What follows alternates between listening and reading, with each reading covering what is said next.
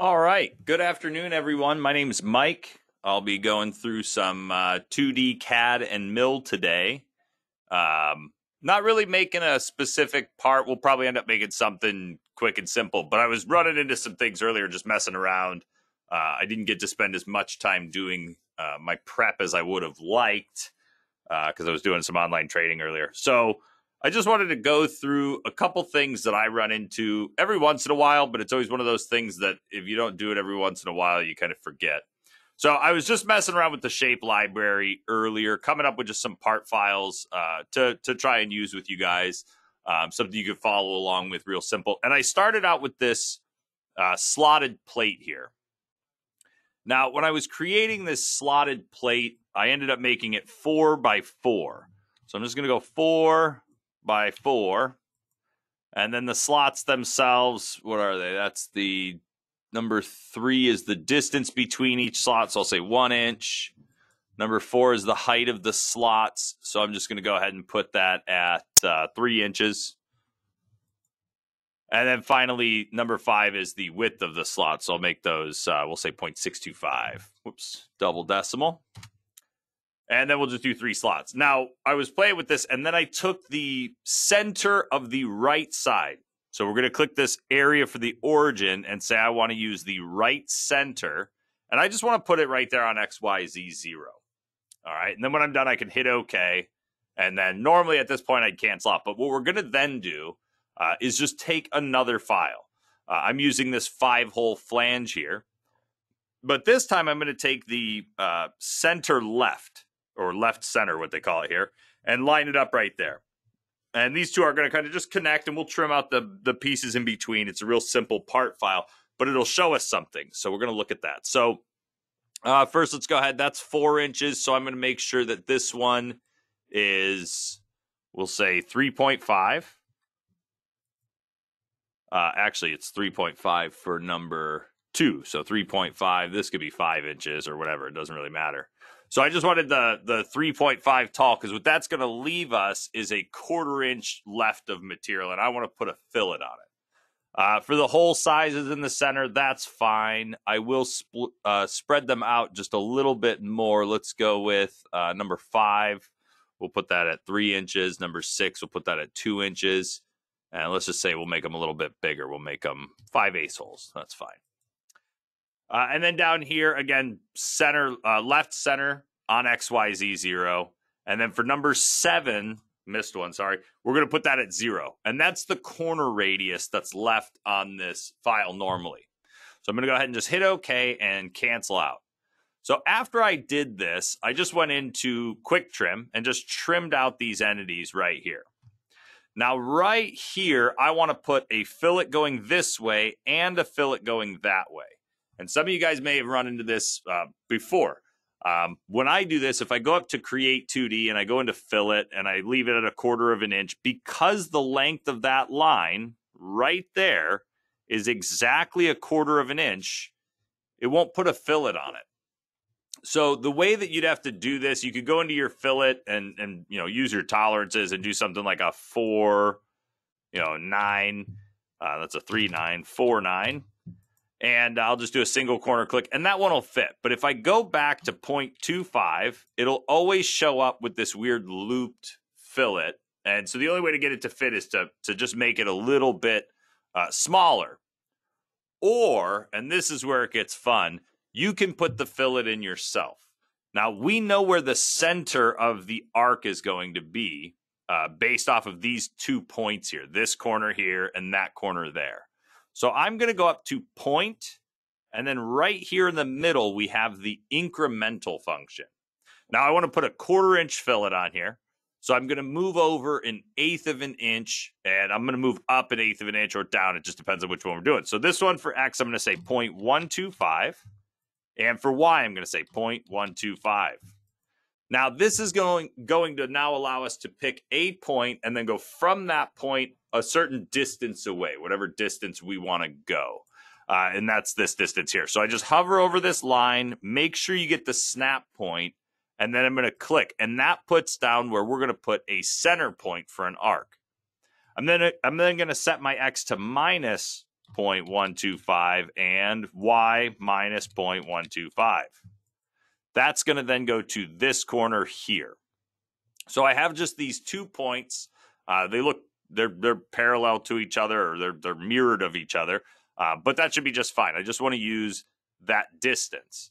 So now I'll go to the arc command, and I'm in I'm in version 34 right now, so I do have the uh, diameter option available. If you're doing um, if you're in version 33 or previous, you'll have the radius. So just type in your diameter and divide it by two. But I'm just going to type in my diameter as a quarter of an inch, and then I can pick where this goes. Now notice right now my cursor is moving around the center. Uh, I this annoys me heavily. Uh, and what it is is it's that the arc will not snap unless it's at a location that is a factor of, in my case, a sixteenth of an inch. So as you move your cursor, you'll see it kind of jump. That's jumping every sixteenth of an inch. What I want to do is I want to turn that feature off first. I want to get rid of that one. So now I'm free to drag it and my cursor stays in the middle. The other one is I'm going to turn off the construction geometry and the XY tracking. Uh, it just seems to get in the way whenever you're going to a second point. So when I click on this point and then I go to this point, it's like it doesn't want me to. So I'm just going to turn that little button off there. The one between the two you can leave on. Those are your cam tree flyouts. So you're just going to leave those guys turned on. And then I'm just going to snap an arc on both of those points. And again, the reason we have to do this is because when you do a fillet in BobCAD, it's going to create a the, the length is basically the length has to be larger than the diameter that you're trying to put in. So for me to put a quarter inch fillet on here, I'd need at least a little over 0.25. And mine right now is exactly 0.25. Something like 0.251 would fit this. Uh, same with going with a fillet that's smaller. If I was to go to point you know, uh, 249, that would work as well. But by going and placing these points in, specifically off the corners that we need to work from, and, and really this might be a little bit different if you weren't using a 90 degree corner, so be careful with it. But I'm then going to go up to utilities here and just quick trim. And then I'm just going to trim off all the extra geometry there and there and there and there. And you can kind of start seeing the path we're able to take. So I'll just make sure to trim off that area there and that whole area there. So now I have this nice tangent transition, uh, perfect fillets, and uh, yeah, the tool will be able to go in and cut that. And while I'm here with Quick Trim, I'll also trim out the points that we have just to get them out of the way. Uh, to get them on the other side, I would work a lot less uh, by just going up to utilities and then mirror, and I'd pick those two arcs and then we just tell it to mirror across the correct plane, which we have really three planes to mirror across. I'll use my, there's my XZ. We also have XY, uh, but we'll go with the XZ plane here and you'll see your preview. Make sure to hit copy before you hit OK or you will lose your originals. And then I'll just hit OK and cancel out. And then from there, just use the same quick trim command to trim off the straight lines that were there, just like that. So I now have my radius in there. So it happens. I feel like it happens to everyone at some point where you go to put a fillet on the part and it just won't put the fillet on the part. It's too large for that area.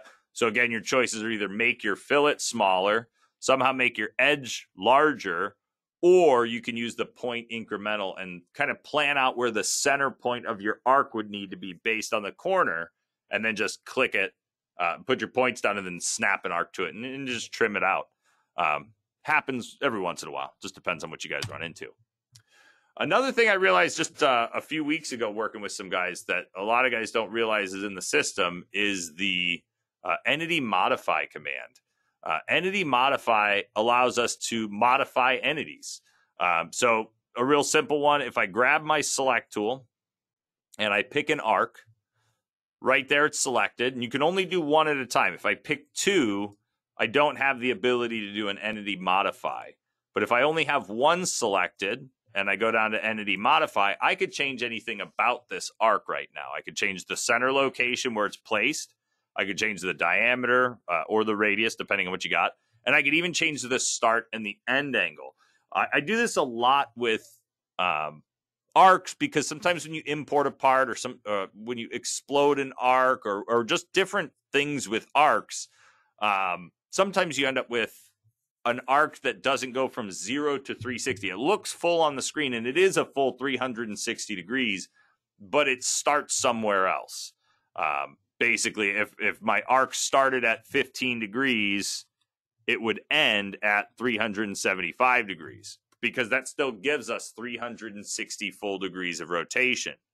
The problem is when I go to trim this arc or when I go to make changes to this, it might not trim and it might not work in the same way as a normal arc. And for BobCAD, a normal arc, the zero degree position is always going to be at three o'clock.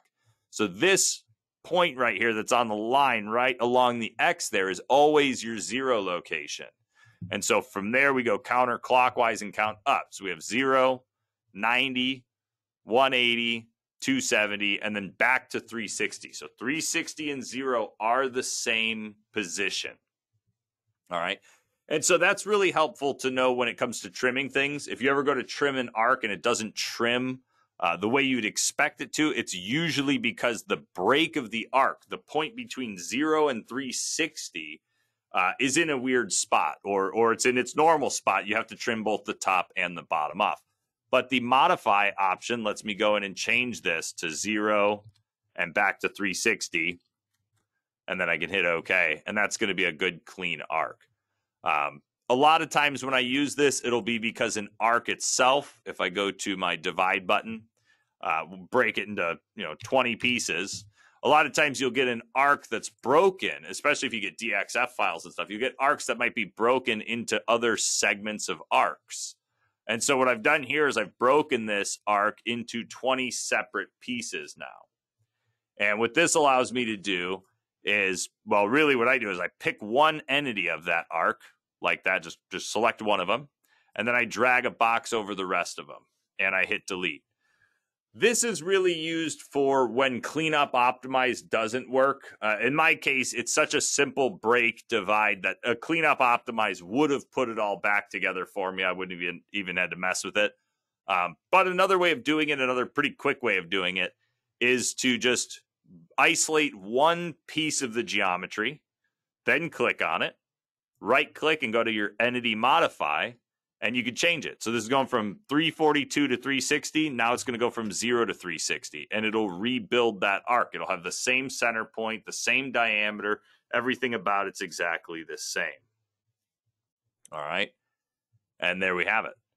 Now, another thing that some people run into, and I'm just going to delete these connecting lines real quick. Another thing people run into when they're creating arcs is a lot of times you get portions, you know, small portions of arcs and you want the full thing. Now, at this point, if we were drilling holes, this is enough information for BobCAD to uh, recreate or drill a hole.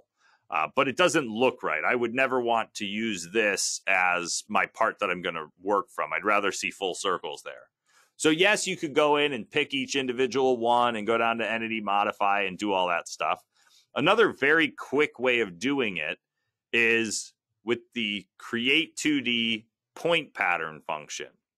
Now, before you do that, just make sure to get the diameter of the hole. So just measure it, measure your arc, and it'll tell you right there diameter and radius. You're really going to want to know the radius because although most features in the system have gotten a diameter option added, this is one that does not have it. Everything you do with this point pattern feature is done in radiuses. So that's the number we need. Just makes it easier to grab that information beforehand. And so we'll just go up to create 2D and then point pattern.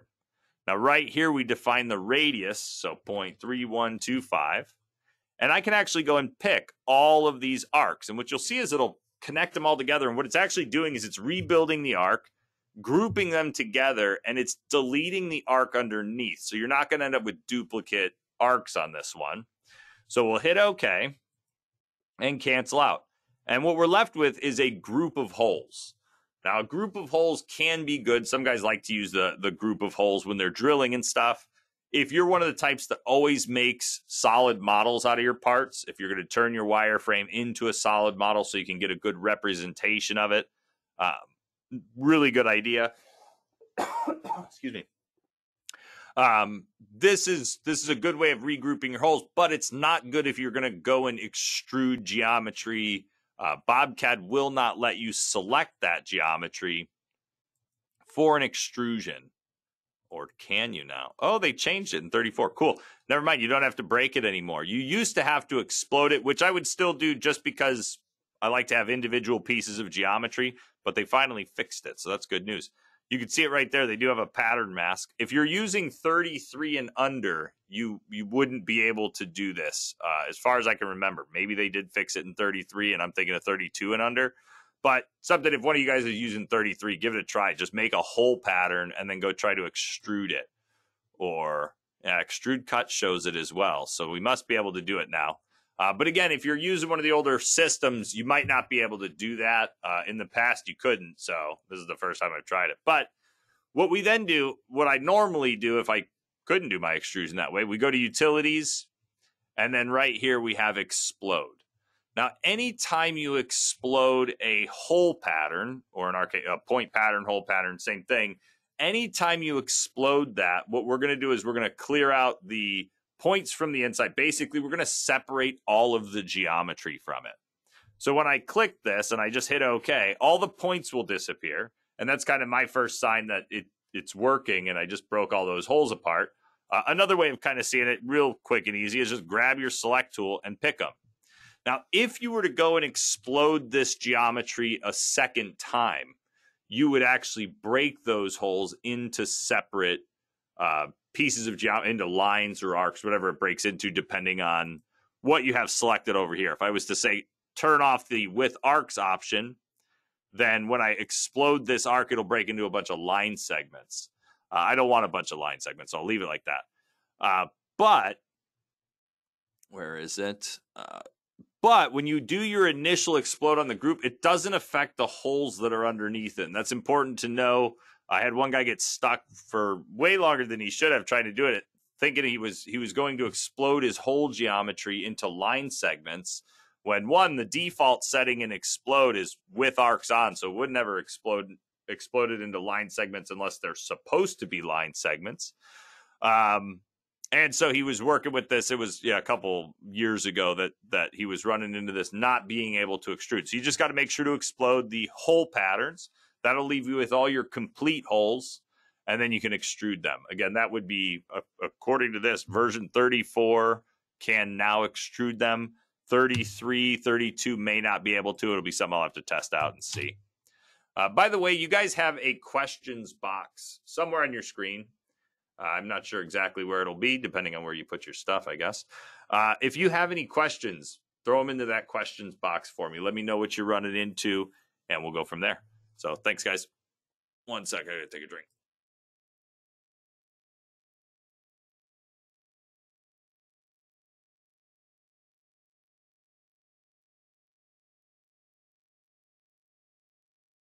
All right. So continuing on with, uh, we'll just continue on with this part. I'm going to hit undo a few times and bring back my slots there. And then I am going to go and change just these two. I'll do that one and that one. So I'm just going to delete those and just convert those into uh, just holes, quick ones. So there, point pattern, that's the right size. We'll pick all four of them and hit OK. And then cancel. And then once again, I'll just go in and explode that thing. Just like that. So this is not going to be a crazy part. I guess we'll just go go through some tool pathing with this one. Uh, I've got a question when I'm programming a part that I'm working on when we get there. All right, Brock. Yeah, I'm going to start programming here shortly, and uh, we'll just kind of look at everything. So I want to uh, start off with uh, well, the for machining we always have to start at the same exact point. We've got to make our stock. So that's going to be the first thing we do. Before I do that, let's throw some fillets on the sharp corners that we got around the part. Uh, so I'm just going to go create 2D, fillet. And with this one, I should be able to do chains because uh, we're only doing the outside corners and it shouldn't touch those. Just cut those corners. And there we go. So you can see the preview puts that in there. Uh, remember when you're doing a, a chain of geometry, when you're trying to pick all of it, hold shift and then click on the chain and it'll select the entire uh, piece of geometry if it's connected together. Remember, if there's a gap in the geometry or even duplicate geometry, it might uh, give you a hard time. If you're worried and think you might have some broken geometry that might read a little bit differently or, or you're not able to get your chain select, the first thing to do is go to utilities and then clean up optimize anytime really i mean honestly there's not a bad time to use this thing if you have wireframe geometry on your screen even if you're pretty sure that you didn't add any duplicates. Go ahead and run this thing. It's going to do a lot more than just erase duplicates. It also rebuilds broken geometry that should be one piece. It's a lot of stuff that i never even noticed that it fixes. I don't anticipate i'm going to have any duplicates here but when i hit ok i can verify that when it pops up and tells me how many corrections were made. We got zero corrections made this time. So that's a good sign. That's it either means the geometry's really good or it's really, really bad. Um, and I've had that situation before. A lot of the times that happens when you look at a you know an arced piece of geometry and it's broken if you start measuring all the pieces of the arcs, you'll find minor differences in either their, you know, XYZ center point or their radius or diameter. They might be a little bit different from each other. You know, looking at it from the viewer we're now, it looks like an arc, but when you go to touch it with your cursor, it'll light up as multiple pieces. That's where you'd have to find the segment that there's kind of two ways to handle it. Either find the segment that is the right diameter and has the correct um, center point and then rebuild that using the entity modify function, or delete pretty much everything but one entity and then edit that entity and move it to the right position. So it's, it's all dependent on how you want to kind of go about it after that. So there we go. All right. So right here, I have my cam tree. And I'm just going to start by right clicking here on cam defaults and then I'm going to go to new job. If you forget any of these steps, I'm always going to show you guys the same thing. It's the cheat sheet that's part of the help system. Uh, there's a shortcut to the help system on the screen right now. It's right under the X, and you're going to go right here to where it says help. It's a little question mark circle there. So when we open up the help system, and again, if you guys have been in one of these with me before, you know this already, but just as a refresher, when you open the help system, it always loads to the exact same page. And that's important because we want to take the exact same steps every time. So it always opens to the introduction page. Other than I think maybe on the initial install, it might open up the what's new. But after that, if you're loading the help system from this from Bobcad, it's always going to load to this page here. We're always going to go down to right here where it says using cam. And then when it loads up, we're going to open up the README First Cam Quick Guide here. Now, this shouldn't be something you guys need to reference every time. Uh, and honestly, to me, it's missing a big step, uh, which would go in between step three and four. So, step one is we have to start a new job. This is where we define in Bobcad what style of job we're running. If it's mill, if it's lathe, if it's mill turn, or wire EDM. Those are the four job types. Uh, laser plasma water jet falls under milling for that.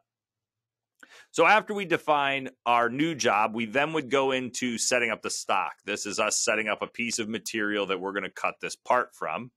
Uh, then we have our stock material. So what are you actually cutting this thing from? Is it uh, aluminum, you know, steel, whatever it is, you're going to pick your material. Now from there, it goes right into the toolpath feature. So it says add you know, add your cam features, which it is a fine step to do, and a lot of you guys probably do do it that way. Uh, what I would recommend kind of throwing in between that, and again, this really does depend on how you work, and it's uh, probably the reason it's not on this list, but go into your tool crib, set up your tool crib.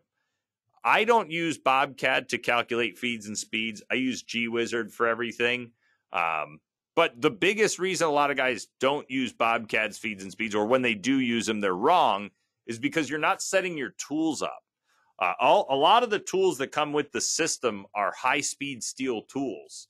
And if you're going right from our library or you're going right into your tool pathing features, it's always going to pick a tool that's kind of standard inside the inside the um, the library.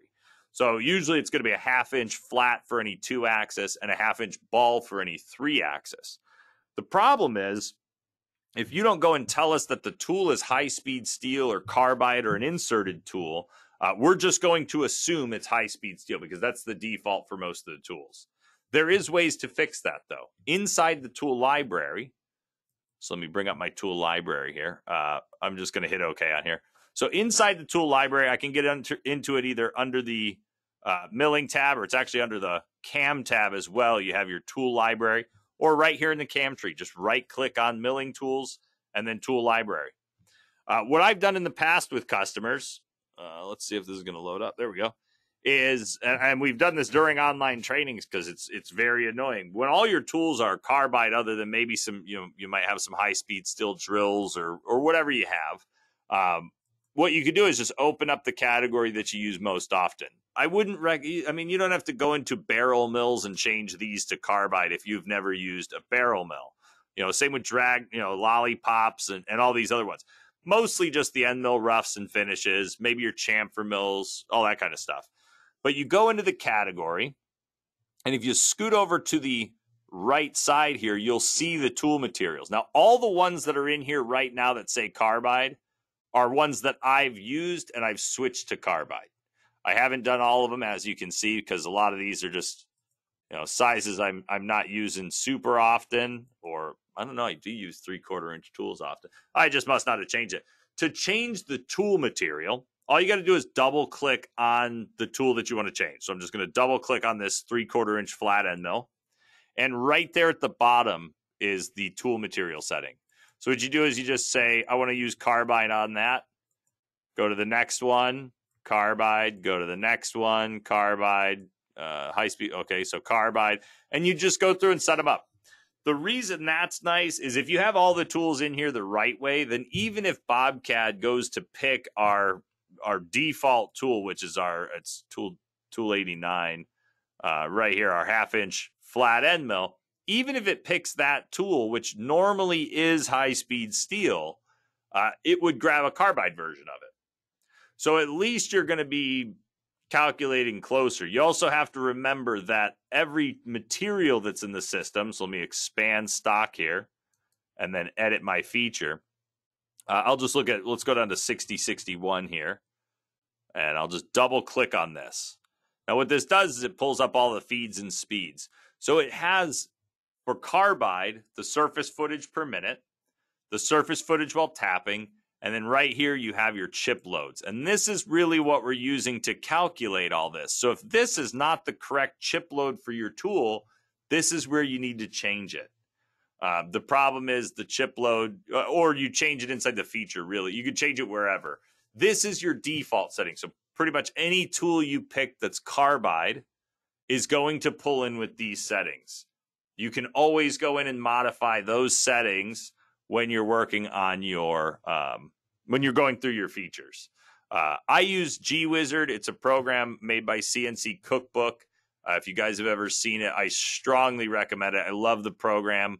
Uh, literally, just you punch in the diameter of the tool, the material of the tool, and then you give it a little bit more of the information. What's your depth of cut? What's your step over? And it calculates your feeds and speeds for you. And so far, I'm at uh, a hundred percent accuracy with it. Uh, when it when it talks about breaking a tool, it has a whole deflection section that breaks down uh, the deflection that's applied to your tool at the depth, using the stick out, really all the information you'd give it, uh, and it'll tell you if a tool is going to break. And the two times I have not listened to it, my tool broke. Um, other than that, I've gotten real close with some other ones, but even like in G Wizard, it said it was going to be a high deflection. Um, and it was a high deflection. We thought for sure it was going to snap, but then we were able to come in, use a few spring passes, and just slowly work it in. Um, it's also got a lot of tips for for conventional versus climb milling. It bases everything off of your um, your depth of cuts and your step overs. Uh, even if it's not a product you would purchase or you want to purchase, I do strongly recommend going on there. You can download a demo of it. I think it was a, a 60 day long demo. Uh, you buy a lifetime license of it, and you get signed up for uh, a newsletter that uh, Bob, who runs CNC Cookbook, sends out. Some of the best information I've gotten is from him.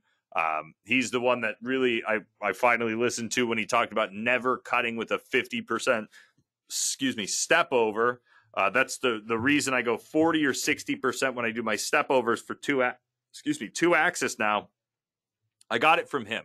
He's also got really good videos that break down climb versus conventional milling uh, and when to use one and when to use the other. Uh, it's not just as simple as you're running a mill, you should climb, you're running a router, you might conventional. He actually breaks it down so you know when you're using a specific step over, it might be better to go with a conventional.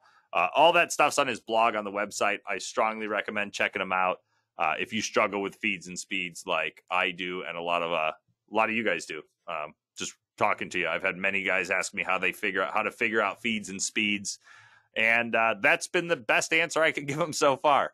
Uh, it, it, really has everything kind of built into it. All different tool types too. You can use it for drilling, uh, engraving. I just used it for some thread milling with a customer, uh, and and feeds and speeds were were spot on.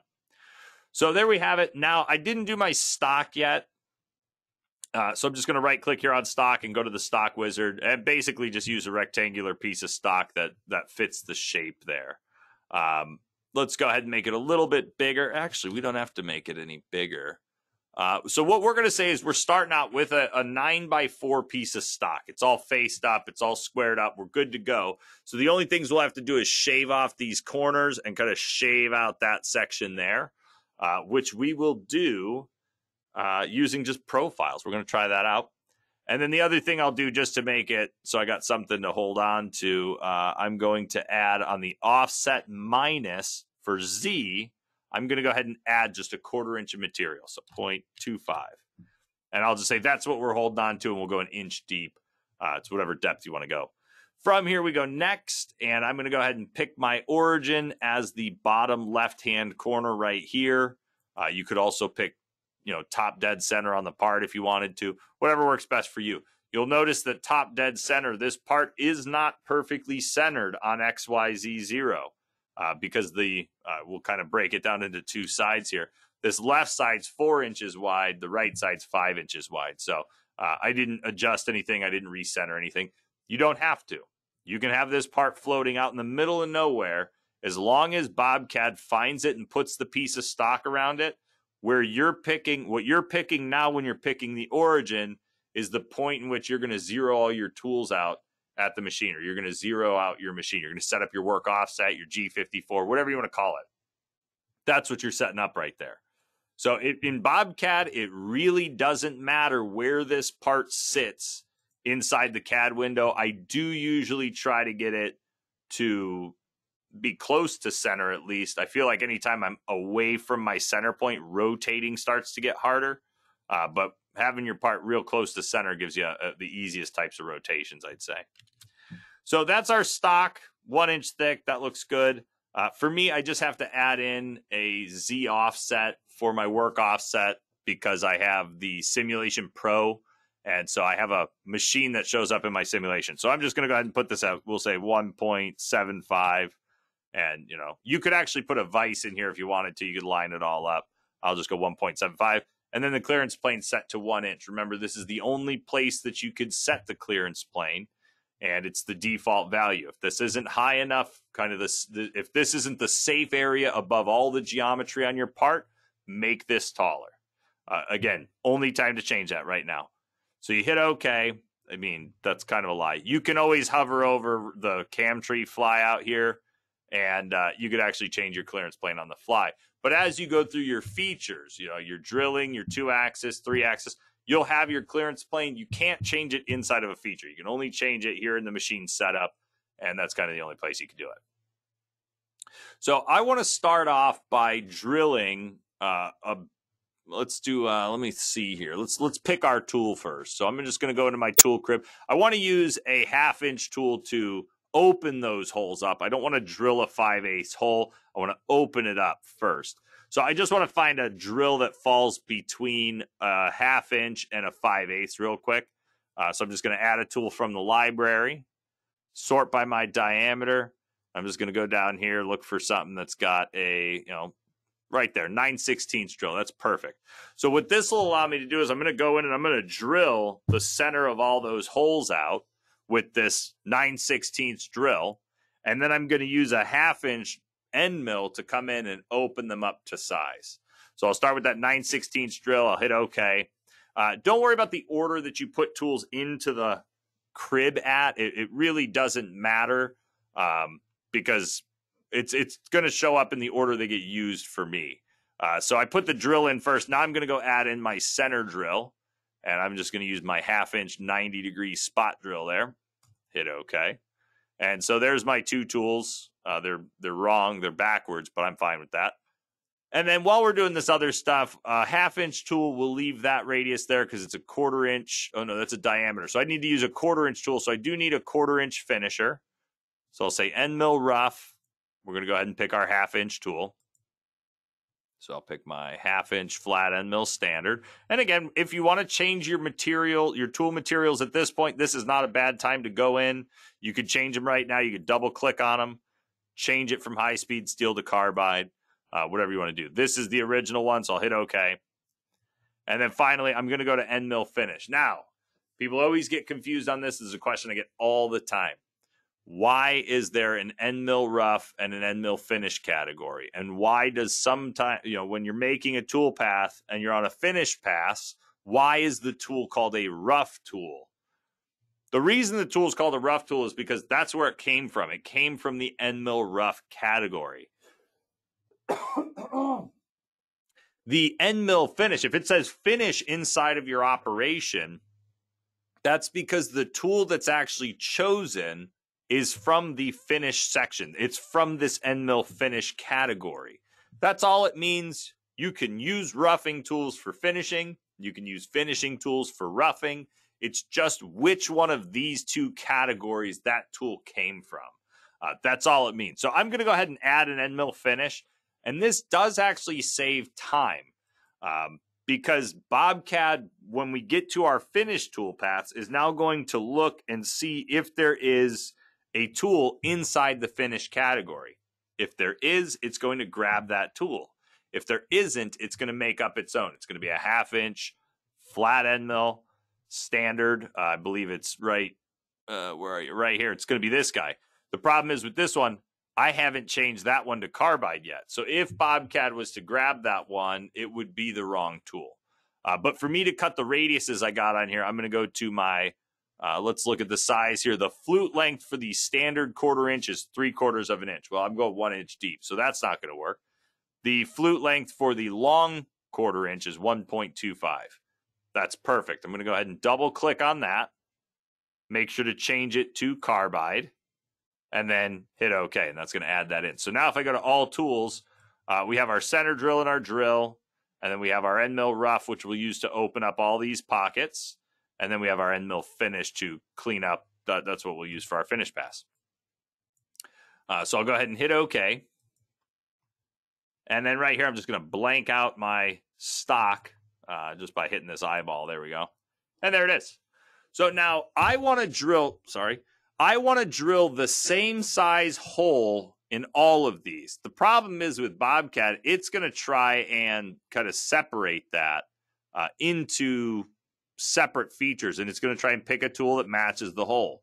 So what I want to do is I just want to add some points to the center of all these arcs and that's what I'm going to use. Uh, but before I do that, I'm going to make a new layer. So over in my layers, I'm going to just add a new layer and just call it arc centers and then leave my check mark on that. That way, anything that I draw, all these points that I'm about to draw will automatically go to that layer. So I'll just go to create 2D and then point. And then I like to use this feature right here, the point from entities, and just make sure the arc center is on and nothing else. So you're going to have to turn off the entity endpoint. And then from here, I can actually just drag a box over all the things I want to grab for my geometry. So just all these, just like that. One second, guys.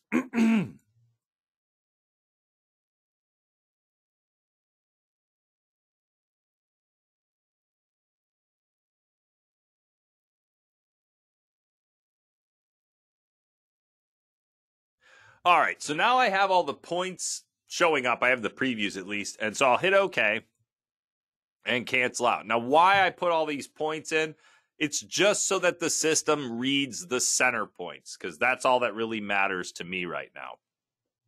So if I turn off my CAD layer, I'm left with all the points for all the holes I need to drill.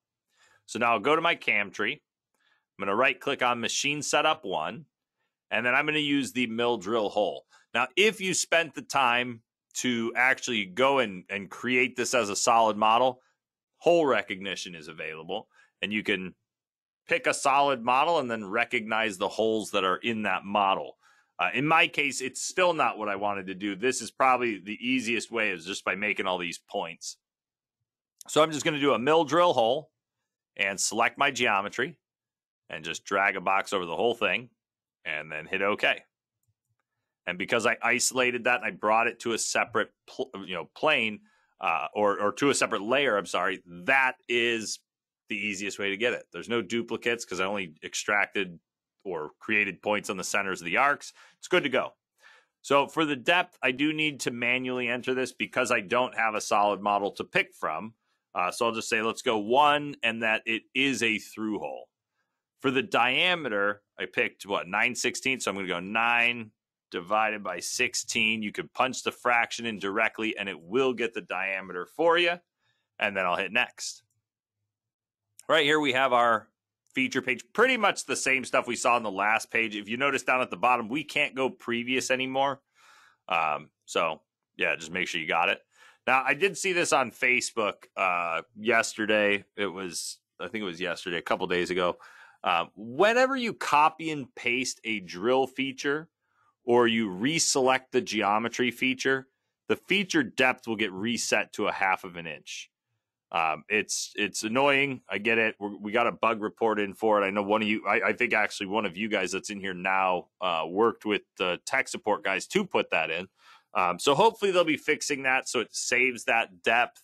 Uh, eventually, I don't know when that's going to happen. If you copy and paste, or if you ever repick geometry after you've computed the the drilling toolpath, always come in here and double check this page what ended up happening to the customer online was he had two holes selected and he had their feature depth at uh, 0.4. I think it was yeah, 400 thousandths or something.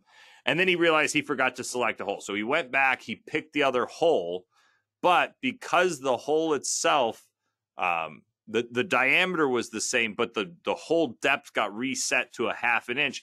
He ended up with two groups. One group that went from the top to 400 thousandths, and then another group that went from the top to a half inch.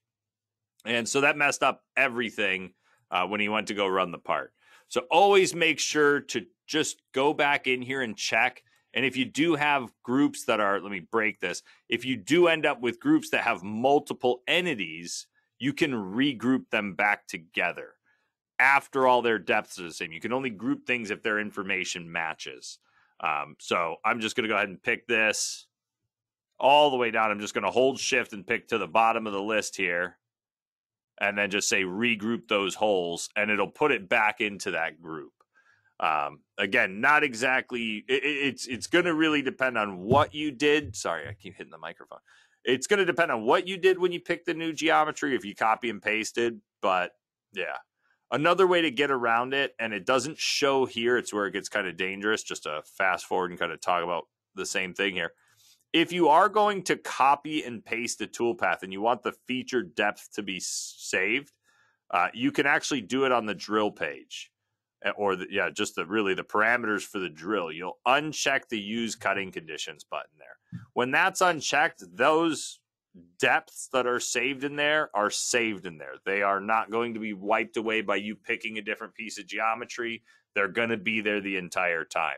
The problem is even with this, you know, with this being unchecked, when I pick my geometry again, it'll show up as 0.5. But because once again, this use cutting conditions is unchecked, it's still going to go an inch deep. So it really depends on what you're copy and pasting. I mean, drilling is one of those features. It could be really quick or it's one of those deceivingly long features where if you're doing it correctly and setting up feeds and speeds, you know, I would much rather set up feeds and speeds once and then copy and paste from one to another than to have to redo the whole toolpath every time. But if you do uncheck that button right there, uh, you will it will save all those those depths no matter what. All right, so back to here. We'll go ahead and hit next. Uh, for the strategy, what I did earlier is I chose the hole feature, which anytime I choose a hole, it gives me a center drill and a drill. So that's what I'm going to run with. For my machine sequence, we just have our sequence. Really, I'm just going to leave it on optimized. Um, it's going to figure out a, the best way. The way Optimize works is it kind of puts together the closest, the pick order, and the X and Y directions, and it picks the uh, most efficient one of those. So usually this is picking a pretty good option. Um, down here is just what corner do we want to start in? If you break your part into just a, a rectangle, it's do you want to start near the lower left, upper left, lower right, or upper right? And you'll just pick whichever one you want. I'll go lower left, get up there, and then hit next. For the posting, the only thing we really have on here is the uh, your work offset. And normally you do not ever have to change this. The works work offset is made to um, to use whatever work work offset is inside the machine setup. So it shouldn't be something you really ever have to mess around with. Uh, other than that, the output rotary angle, that's a option for four axis machining. Um, if you're doing some four axis machining, you're never going to use that option. So just be aware of that. Sometimes uh, you know, sometimes people get confused and start clicking buttons. That is for four axis. And even if you're doing four axis, you're not going to do it this way. So next. because I set up my center drill earlier, my half inch 90 degree spot, again, that's one of the benefits of setting up your tool crib is uh, BobCAD goes into the tool crib. It looks to see if there's a center drill. If there is a center drill, that's the one it uses. If it doesn't see a center drill, it'll always pick a number five center drill. And the same thing's going to go with any tool. If it's looking for a specific tool type and you put that specific tool type inside your tool crib, then it'll always grab that tool type. So we'll go ahead and hit next. Right here for the parameters, this is the parameters for the center drill. So on this one, you could either set up the depth that you want to center drill to, or you can define the center diameter at which you want the hole to kind of stop. What do you want the top of the hole to register as for the diameter? Um, in my case, I'm using a half inch, 90 degree spot. If I was using something like a three quarter inch spot, I could uh, go in and use it to chamfer the hole. Uh, but the drill that we're using is a little bit too big. And I'm cleaning out on all that uh, geometry anyway, so it doesn't really matter. And so I'll just hit next. Right here for the drill, it grabs our 9 16 drill. Anytime you do a hole inside of BobCAD, even if it's some random number, excuse me, that you enter in for your diameter, BobCAD will make a drill that matches it. it. It will be a drill that might not even exist in the tool library or, or even in real life. Uh, but we will create a tool that matches it. So just be aware of that. And again, I didn't change it on this one. My my drill here is high speed steel, so the surface footage is 508. Um, this one is carbide, so you'll see it's using that 1320 for the for the feed rate. Um, so there it is. And then finally, we get to the parameters. Now, the parameters allow us to change the cutting condition. So if you do want to change the depth at all, you can uncheck use cutting conditions and then change your depth. The reason we have 50 thousandths extra showing right now is because whenever we tell BobCAD we're doing a through hole, we add 50 thousandths onto the total depth. The reason we have a separate, a different number in the overall depth is because that's the overall depth that the tip of the tool is going to travel to.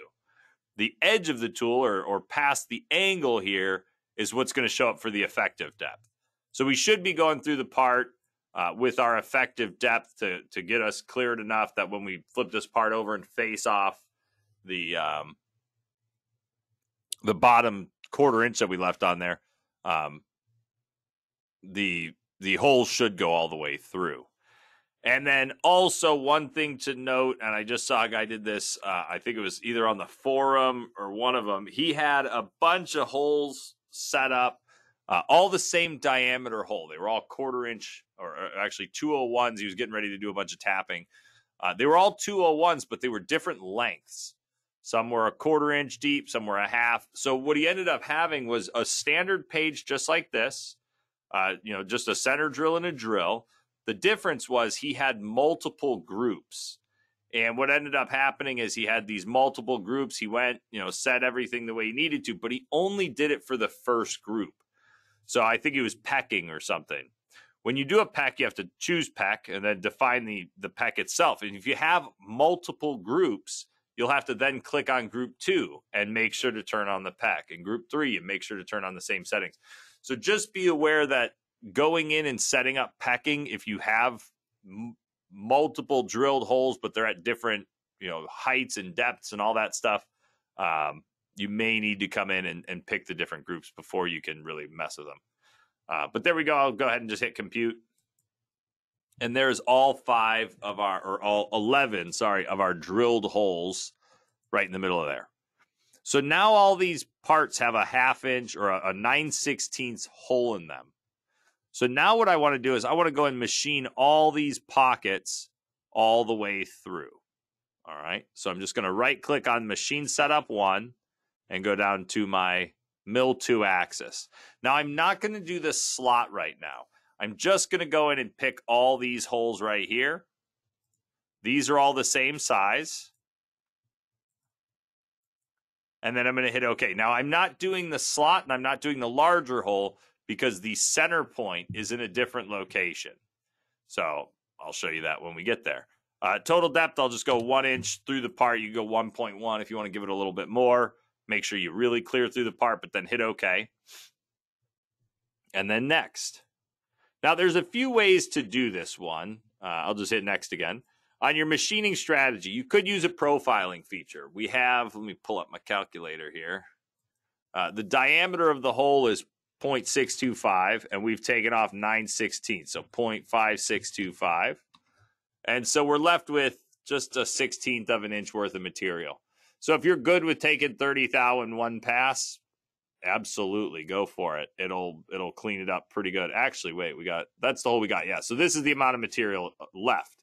Uh, so you could do it as a profile if you're good with taking you know kind of 30 thou in one shot. You could also do something like pocketing. And this is the one I like to use. I'm going to do a pocket with a profile finish and then go next right here for the tabs. I'm not going to leave any tabs on any of these holes. I'm not I'm not going to keep held on to any of these parts. So I'll just go next again. And again, the posting, you got your work offset number one, the output rotary angle, and then the contour ramping. Now, this doesn't apply to anything in this toolpath. It's just a setting that's here for really all the two axes. The only toolpath that has contour ramping in it is the profile rough. So the only time this matters is if you have a profile rough here on the left. And all it does is it tells BobCAD that it's uh, able to output these this contour ramping toolpath with lines or arcs. It really depends on the machine. There's some machines that won't even let you use the contour ramp uh, because the Z. Uh, uh, the last time I seen it was a few years ago because they're two and a half axis, so you can't lower it that way.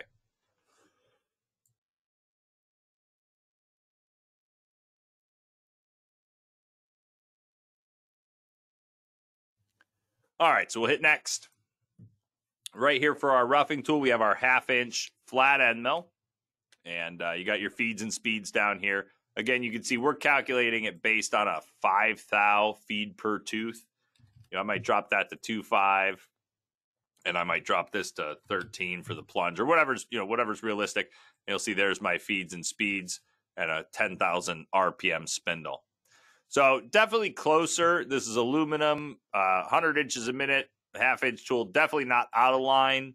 Uh, really is going to depend on how much I'm, I'm taking off and what I'm doing for this whole thing. So we'll hit next. For the patterns. Uh, now, with this one specifically, I like to use uh, really, I don't use standard pockets anymore. I don't really see the point. Um, the real difference between an advanced pocket and a standard pocket is that the standard pocket is never allowed to do open pocketing. The advanced pocket can do open pocketing. Um, why don't I ever use the standard anymore? Because this the advanced pocket will only do open pocketing if it's allowed to, which means either you've you've used the option that's called detect open edges here in version 34, or you went and drew dotted lines on any areas where the tool is allowed to leave. Remember, a dotted line signifies that there's no wall there, and so the tool can go right over it. It's actually not a bad way to clean up, you know, these little areas here. What we might end up doing is is creating a dotted line that closes this off, and we could have instead of a tool just kind of doing a finish pass, instead of just doing a profile for it, we can actually have it kind of work its way out and take out material. Uh, we'll we'll see what we decide to do. But the offset pocket out is always a good choice. These are round pockets. So what I'm going to do is I'm going to turn on the use spiral for circular pockets. And this is going to convert uh, all the toolpath instead of it having a, a linking move to connect from one pass to the next. I'm just going to use these spirals instead. Now, right now I have a step over of 50%.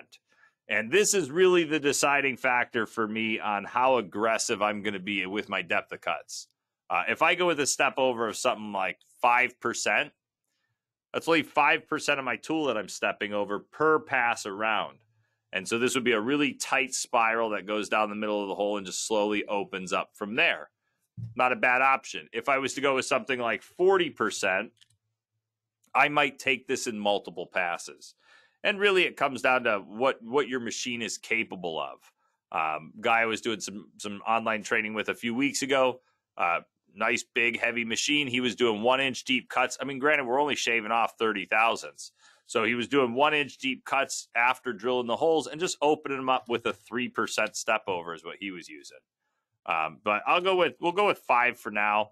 I want a climb mill, and then this used spiral for circular pockets should keep everything moving as a spiral. So from there, I'll go next. On the uh, parameters page, how much are we going to leave for the finish tool to clean up? I'll just leave, we'll do 10 thou this time. And then right here, we have our steps. So I have a 5% step over. So I'm going to tell it, I just want to do, uh, well, this is the rough pass. Let's do it in two passes. So we'll do two half inch passes uh, just multiple steps there. And then if you ever want to do more than two passes, because anytime you do multiple steps, we just take the depth and divide it by two. If you ever want to do, say, four passes or, or six passes, you can just do the math right there. Take your total depth and divide it by the number of passes you want, and you will get that depth of cut and that number of cuts. All right, so let me set that back up. We'll just do two passes, half inch deep, and go next for the leads. Now, I'm going to leave it on plunge. And I want to start with plunge because it should plunge right down the center of the hole where I left it. Otherwise, I have to create plunge points. And I really only wanted to do that on the slot that we got down there, but we'll find out. Uh, so we'll leave it on plunge. And if I don't want to use a, a plunge point, then I could also go and do something like a spiral entry in and kind of have it spiral its way down the center. Uh, just be aware that usually when you do that, the, the spiral entry has to be pretty small to go down the middle. Uh, we only have, actually, we got a 16th of an inch, so we should be fine. We'll find out. We should be able to see it in the simulation if it's going to clip the part on its way into that hole, um, which is what I don't want. I want it to plunge down the center that we drilled and then open it up from there. Next, we have our machine sequencing. Uh, just going to turn that on optimize and kind of let it choose what order to cut all those holes in. And then we have our links, no changes. Our advanced feed rates, no changes. And then right here we have our finish tool. So grab my quarter inch end mill. For the patterns, we have two patterns system compensation and machine compensation. System compensation means we're compensating the tool for you. Machine compensation is going to give you a G41 or a G42 that you could use or that will show up inside the code and allow you to have uh, a little bit more control out at the machine to offset the tools, to compensate for the tools. So I like to use double comp. Basically, the system is offsetting the tools. So now, what that means for me is any lead in I use, as long as it doesn't go too far across the part, cut it to the other side, it's going to work. And uh, I do have the G41 comp. Um, so that's that's perfect. So I'll just go ahead and hit next. Right here for the parameters is a finish pass. I want to leave no allowance, and I'm not going to do multiple steps. I'm only taking off 10 thousandths around the whole part. You got to think whenever you're working with holes, a 10 thousandths allowance is each side. So it's actually 20,000. So we're just going to shave off 20,000 or well 10,000 kind of per side of the whole thing.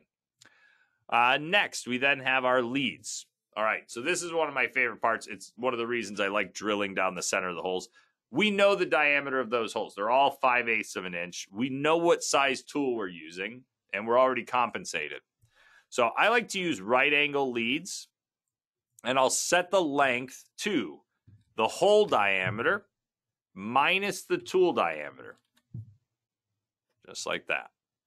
Whatever you have left over, you're then going to divide by two, which we kind of already worked out this math on how much, whoops, how much extra we have. But now that length that's there should have a plunge point right down on top of this point. It's going to feed over and then cut the hole. So we'll go next. No changes to the corner types. That's not really an option anyone uses. Machine sequencing optimized. And the advanced feeds, no changes. When we're all done, we'll hit compute. And there they are. So let me blank everything out real quick. So here's our pockets. You can see it's just just right in there. As long as that start point there is within, we'll say, a, a 30 second, um, we should be fine. We should be able to plunge down this without clipping the side of the hole first and then kind of working in. And then we have our spiral, and there should be two passes. So right there. The profile finish, go to a top view. That's the diameter. Did I not do the diameter right? Or did I change the diameter? Let me just measure this real quick. 0.625. Edit that. Leads. Oh, I'm using a quarter inch tool right now. My bad. Give me one second. So we go 0.625 minus 0.25. And then whatever the leftover is here, we divide that by two. That makes more sense. All right, good. So recompute that. And there we see it. With the right numbers, it works. And that's going to plunge right down the center of the hole. It's going to feed over, make its finish pass cut, and then it's going to leave. Now, one other thing you could do, uh, especially with 90 degree uh, turns here, instead of having a right angle lead that that just gets to the end and leads out, you could also go in and let me edit my profile finish, go down to the leads, and right here we can add, add a little overlap amount. Uh, so I'll just go with 0.1875 and just hit compute. Now what you'll see is there's two lead moves. So there's our lead in. It's going to cut its way around. Instead of stopping here and then leading out, we're going to clean up that area and then lead out. You could also do something with like a circular lead in or a blended lead in. Really, whatever you want to use, as long as you have the the length set to the center of the hole, it actually works out pretty good. So there's there's all those holes. Now for these other ones, well, we'll say this one first. Let me first take a measurement so I know what the diameter is. One inch, that's good. And to, to do those ones, I'm just going to copy the original feature I used for all uh, all the five ace holes. And I'm just going to right click on machine setup one and say paste feature. Now, when you paste everything but a drill, um, or or any three axis, if you copy and paste three axis, it doesn't ask you any questions. So if you're copy and pasting a drill, or you're copy and pasting a three axis, it won't ask you anything or won't tell you anything when you copy and paste a pocket, a profile, it'll ask if you want to use the same top of feature and depth values. For three axis, when you copy and paste, it keeps every setting the exact same. The thing it drops is what your geometry was. And if you copy and paste a drill, it remembers what tool you used. It remembers whatever settings you had, if especially as long as you've uh, unchecked them. But if you go and pick geometry, it might reset the depth and do some other things to you. So uh, I'm fine with using the same top and depth. They're going the same distance. Just going to right click on geometry, say reselect, pick that arc right there and hit OK. And then I'm just going to edit my feature once again. Go to the leads page for my profile finish, which I will note this length right here is fine. Uh, as of right now, I'm plunging in just fine. I'm not going to hit anything. Uh, this is the finish pass, anyways. I'm really concerned with hitting something on the on the pocket pass up above. But I do like it when my tools plunge down the center of the hole, feed over, make their cut, and then leave. Uh, so I'm just going to say one inch minus a quarter inch. Again, that's the hole diameter minus the tool diameter that's currently being used. And then whatever's left over, you divide by two. And so I'll hit compute and blank that guy out. There's my pocket, bit more tool path than we had in the others, and then our profile finish right there. So now the last one is going to be this slot, which I'm just going to hide all that geometry for the points for a second. And I'm going to shrink this up.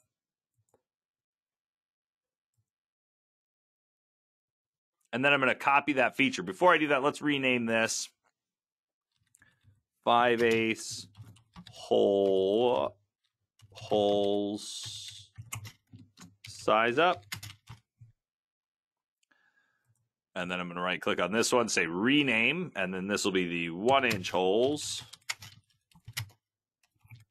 Size up. I can't type, by the way, if you didn't notice. There you go. All right, size type. What the heck? I said type, typed it. There we go. All right, one inch hole size up, and then finally we'll do this little slot right here. So I'm going to set this up with the 5 ace one, just because the the start point and everything should be set up a little bit better. So I'll copy that one, right click down here and say paste feature. Uh, it says, do you want to use the top and depth? Yes, it's the same.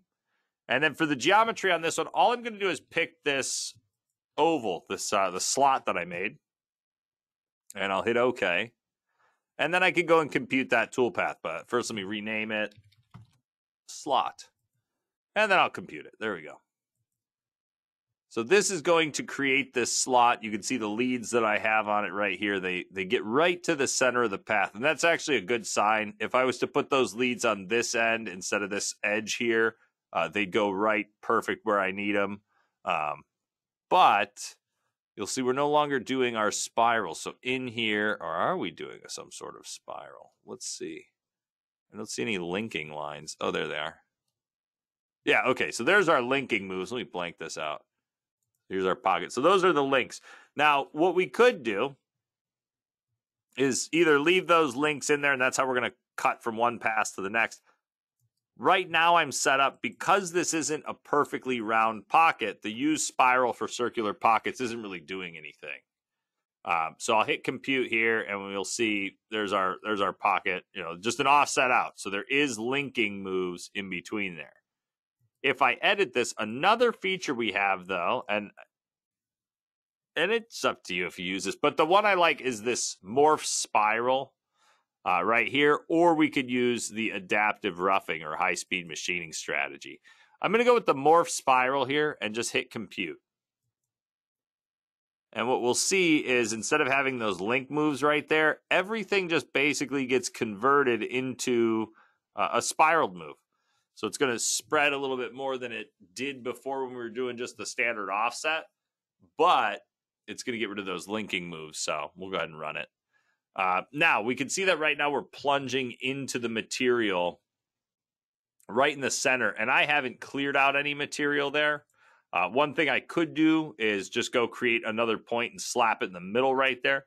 That would work fine, and then we'd have a drilled hole right there.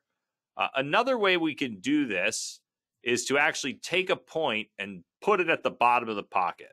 So I'm just going to go to create 2D and then point, and then I'll go to my incremental once again. I'm going to not shift anything in X or Y. So those are going to go back to zero. And then my Z I'll put at minus one. And then all I have to do is pick the point right there. And it's going to put a point down there. And I'll just do the same on the other side, see if there's any difference. Now in the cam tree, when I expand the pocket feature, we have or let me say the pocket operation. The features are these levels up here, but we have this drill tip position. So I'm going to right click on it and say reselect. I'm going to pick that point right there at the bottom and I'm going to hit OK. From here, I'll compute the toolpath once again. And then if we look at the pocket itself, we're actually plunging in down here and then we're going to start our cut. So there it is. We'll fit all that and there it is. So let's try that out. Let's give this a save as. Find my folder here.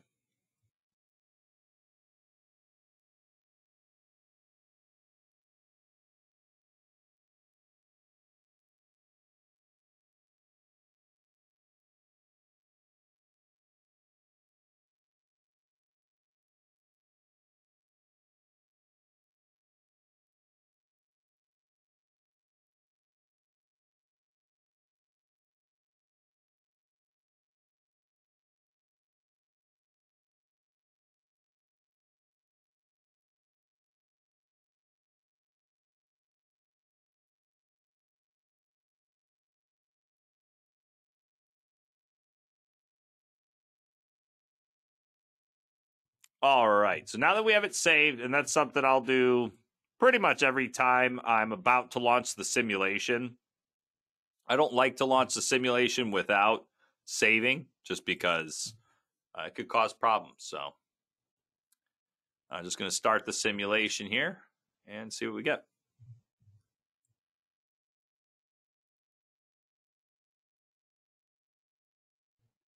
Now we haven't done the outside yet, but I'm fine with that. We'll go ahead and just say uh, run. Do I have my tool turned on? Nope, there we go. Show the tool. And uh, we'll start with our center drills first. I'm going to slow that down so it doesn't go outrageously fast. So there's our little center drills. And then we're going to go in and drill them. And this one has a pecks set to it, so right there. We only got five pecks, so that's not too bad. Sometimes I do this not paying attention. I'll end up with 20 pecks and the simulation takes forever. So you can see there it is. It's plunging into the bottom of the pot or into the depths of the pocket, but right down the middle. And then it's just opening it up to size. You can see the little bit of difference right there. Um, it's a good way to get your, well, one, your holes are going to be round uh, compared to what they could be with your drill. And That looks good. Okay, so there's our one inch hole.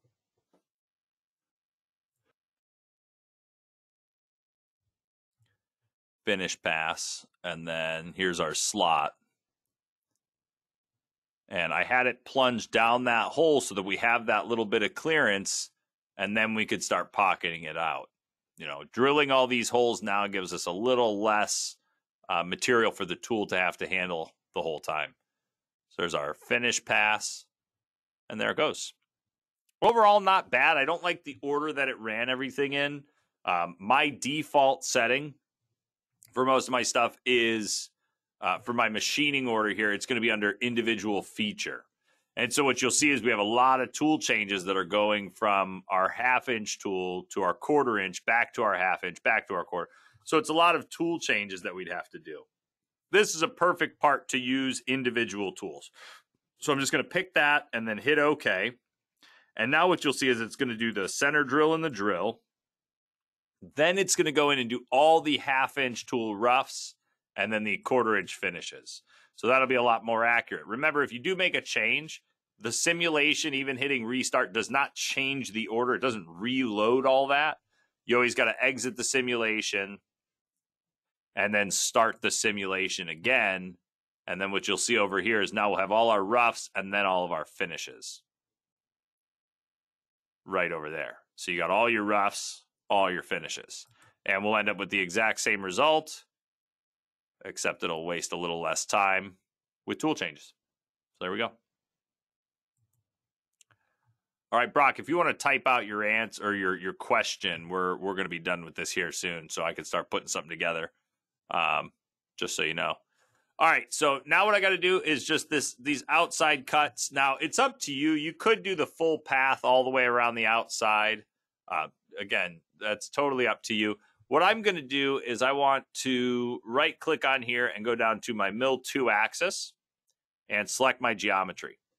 Now the geometry for this is pretty much the outside. So I'm going to hold shift and pick the entire outside chain. But then I'm going to deselect the sides that are already done. So that one, that one, that one, and that one. what I'm left with is just these little pieces of geometry as well as these full radius kind of pieces of geometry here. And I'm going to set the depth to, we'll go 1.1 deep this time. And then hit OK. Well, hold on. Sorry. Before I hit OK, I want to go in here and look at these. I want to make sure that they're compensating or or pointing the right direction.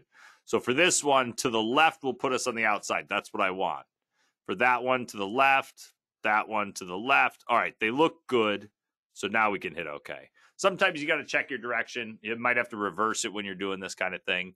Um, now, for this one, we could go with extensions. I just don't know how the extension's going to work right here. So I'm not probably going to use extensions. I'll probably use just let my leads uh my leads take care of it. Hmm. Um yeah, give me one uh one second guys. Let me do this real quick. Uh all right. So Brock let me copy your email real quick. And let me new email. Ooh, move that over there. All right, so I'll send you that and then say send file here. Are you okay with me showing it during this uh, here right now, or is it a is it a is it a secret kind of part? If you're cool with me showing it here, I could I can show it to you now. Um, there we go. All right, I just sent you an email, Brock, and uh, just reply to it, attach the uh, file to it, and yeah, we'll take a look at it. Uh, let me know. Are you using 33 or 34 as well? That's what I'll need. All right, so I'm going to use the leads to kind of control this thing because uh, that'll be the easiest way. Perfect. He's using 34. All right, and I'm going to use a profile rough with a profile finish. So both of them. I need that finish because I'm going to use the half inch tool for the roughing. Tabs, no changes. Uh, posting, no real changes there. And then right here we have our rough. So again, there's our half inch flat rougher. Right here we have our patterns. Now, I'm going to go with the standard first, and that should be fine. But another way we could do this is with side roughing. Uh, we don't have, I, I, don't know, we don't have much material on here, so a single pass with our half inch should be good. Uh, if it is too much for the tool, we could go with side roughing and say, you know what, there's a quarter of an inch worth of material sitting there. I want to take it out in two passes, and that'll break it up a little bit for us. Uh, but again, I'll go with standard. For the compensation, I'm going to turn on G41. But just remember, this is the rough tool. If the rough leaves a little bit of extra material because it's worn, the finish pass is going to clean it up. Just as long as the finish pass is you know, good enough to clean it up. So next, right here for the parameters, just going to leave 15 thousandths for the finish pass to clean up. We have our multiple steps. I'll do this in, uh, we'll do this in four steps. So I'm going to say 1.1 divided by four just because I don't. I mean, we uh, we could probably go a little heavier, but this isn't using a step over. So, however much material is there, that's what it's taken out in one shot, minus the fifteen thou. For the leads, this is where we get to choose kind of what's a good lead, uh, especially if there's a lead that fits all of them. Uh, we could go with something like a parallel lead, which wouldn't really work on these ones because it'd come off, you know, parallel. So that's not what we want. Uh, we could do a right angle lead, and that's going to come in right off the edge of that arc, straight out that way, make its cut, and then straight back out that way. Uh, not a bad option. Uh, the ones I would look towards are either a circular or a blend. Uh, I'm going to go with a circular. And then right now, this would be a, a right angle. So we'd be starting about here, and then we'd arc our way into that, and then arc our way out, and then make another right angle. Ooh, I'm almost losing this thing. I'm going to go with tangent. Let's try out a tangent movement here. And uh, we'll go tangent, quarter inch, quarter inch. And then next. For the corner types, no changes at all. For the sequencing, no change. Uh, for sequencing, we'll turn on optimize. Doesn't really matter though. Uh, advanced feeds, no changes. And then finally, the profile finish. This is our quarter inch tool. This is the one that can actually fit in those radiuses that we put in there earlier. So we'll go next again. Um, no real changes here other than the comp left. That's something that's really you could do your save defaults on this page. The only reason mine isn't is because uh, if I start saving defaults, I'm going to forget what the original ones were when when you guys call for help and all that stuff. So if you use G41 just about every time, hit save defaults. Tell it to use the current template and it'll override the profile rough and the finish. Parameters, no changes. Leads, I'm just going to go with that blend uh, actually, what I do on the last one? I did a, a, a, circular. Let's do a blend on the finish pass and see which one we like more. For the sizes, I haven't really even changed them. The rule of thumb I follow is half the tool diameter. But if the tool's already compensated for, then it doesn't really matter anyway. And so I'll just hit next. For the corner types, no changes. Sequencing, optimized, and advanced feeds, no changes. So when we're all done, we can hit compute and we should see our tool paths on the outside. So let's go ahead and blank these out. Here's our rough passes right there. And here is our finish passes. Now the change, the one little change I want to make just to see what the difference is, just, just to kind of compare, I'm going to copy the feature two axis with geometry. If you're using version 34, we can go copy with geometry. Otherwise, just go copy and you'll have to repick the same exact geometry. then going to paste that feature. And yes, I am using the same top and depth. So it does remember the geometry we had. Again, if you're using 33 or under, just copy and paste and then repick those lines is what you'll have to do. And I just want to edit this and add an extension uh, just to see if it ends up colliding with my part at all. So right there's my extension, 50% on the start and 50% on the end. We'll hit compute and we'll see what that looks like and see if it causes any problems. It looks like it's going to work, in which case I don't need to go so crazy with my leads. Uh, but let's go ahead and blank it out and we can kind of compare the two of them. So there's one, there's the other. Looks like it's straightened out on that edge. Sometimes with curves, you never know. I've had it follow the curve more and it ends up dipping into the wall a little bit. But that looks pretty good. We'll kind of see which one we like more when we go to run it. Uh, and there it is. So there's that. All right, turn that off, turn that on. So now we'll go ahead and save. And we'll look at our first profile rough and profile finish here. And this one might give us a weird cut because it's going to do the outside as well because uh, of the way I have it sorted. Yeah, there's the profile rough right there for Operation 6. Uh, I might want to move that down. Eh, it really doesn't matter. We'll find out. All right, so run it. There's all our holes once again. To size them all up. Size up the big one size up the slot, and then we have our finish pass. Oh, there's the outside. Never mind. So it cuts it. That looks pretty good. And then this quarter inch should really finish it nicely. There it is. Overall, not bad. Um, is that just the shimmer of the wall? Yep. So that one works. It, it works just fine. So that's with no extensions turned on. And then what I want to do is just real fast run the other one with the extensions and just see if we have any other results. If it's any different than that, you know, we'll see. And I'll fast forward through it just so we get the final result here. All right, so we'll run that. And I cannot see a single difference. So whether or not you want to use the extensions, totally up to you. Uh, doesn't seem to have made a, a, bit of difference for the finish we have. Uh, I would probably prefer the I like the the extensions. It's not a feature I get to use too often, um, but that is a good feature to just kind of extend past your walls a little bit. So, all right. So once again, I'll give that a save, and then that's it. All right. So just to look at uh, one of your guys' problems, this is Brock. Uh, he's trying to machine around a boss uh, in his part, but it seems like no matter what he does, the it pockets out the boss. Uh, might be easier to send the part. Okay, good. So let me get this part file downloaded here. Track tightener. All right, so save as. I will put this. Um, let me see. All right, let me make a new folder for you real quick, Brock. Son of a gun. Or I probably won't even have to send this back if it works. Let's see. So let's go Brock webinar. Webinar. There we go. All right. And save. All right. So once again, give that a save. Minimize this. Let me find my folder. There it is. There it is. And right there. All right. So this is the uh the this track tightener. It's so right now I don't have the correct machine uh, but we'll see what it looks like.